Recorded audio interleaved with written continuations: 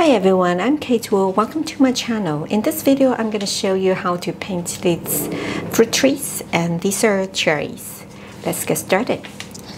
So in this painting, we'll be using these core colors, the red, orange, and yellow.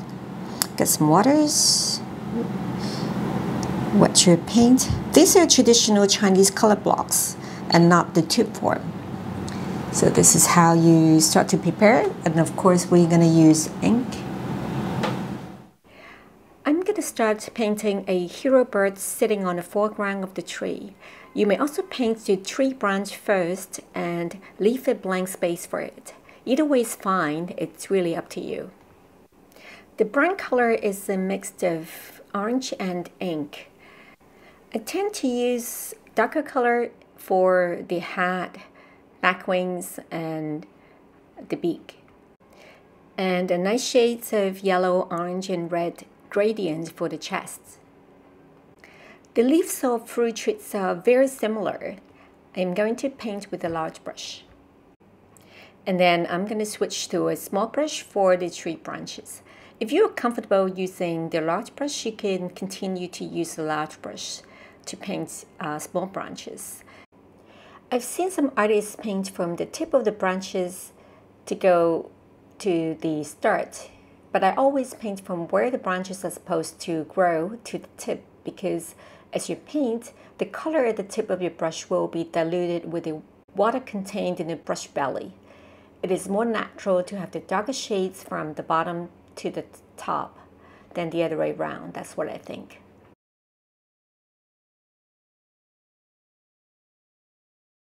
Now I'm adding a few stems and some cherries. Cherry trees are not native to China, so I've never seen any traditional Chinese paintings featuring cherry trees. This is also my first attempt to paint this subject on trees. I will try to paint some other compositions and presentation in some other videos. So please subscribe if you're new to my channel and press the bell notification button so that you don't miss out the next new updates. I'm adding some leaf veins to enhance the look of the leaves.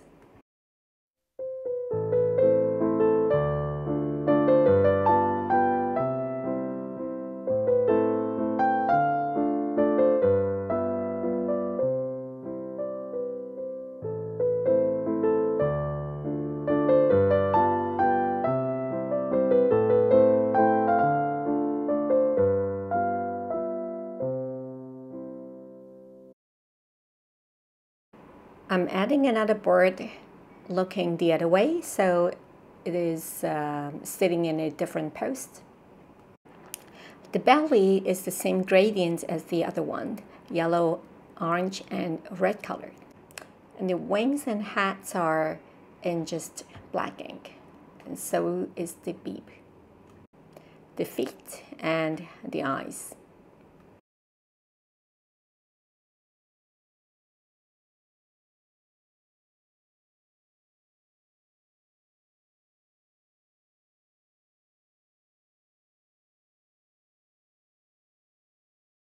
To complete the composition of this painting, I'm going to add a large branch using a large brush. I took a bit of ink, tilted my brush to paint a light shade of gray. I also use the same brush to touch up some details and these dots are called dotting moss and um, I'm going to add a little bit of uh, small branches here. Of course, you may switch to a smaller brush like what I'm doing for a better control. This is what the other bird is looking at. Freestyle Chinese painting is about making an impression. We don't have to paint every single element in a picture, leaving some rooms for the audience imagination. Thank you very much for watching. I hope you enjoyed this video. I'll see you next time.